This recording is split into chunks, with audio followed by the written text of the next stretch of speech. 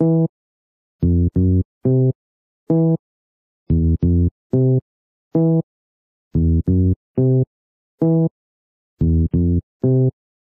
La escena, mataremos en cuarentena. Mi rap te quema, no juegues conmigo Esto es lo que sale de mi yema. Rema contra corriente, dime que lo haces diferente Y que no valgo la pena para que suene más coherente.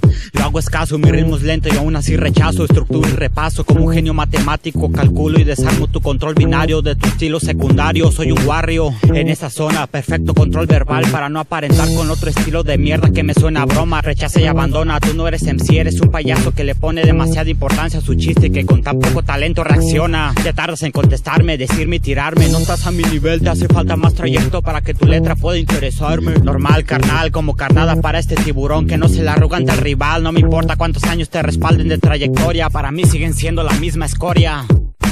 Ok, ok Vamos a agarrar un respiro para que empiece la segunda parte. Va, yeah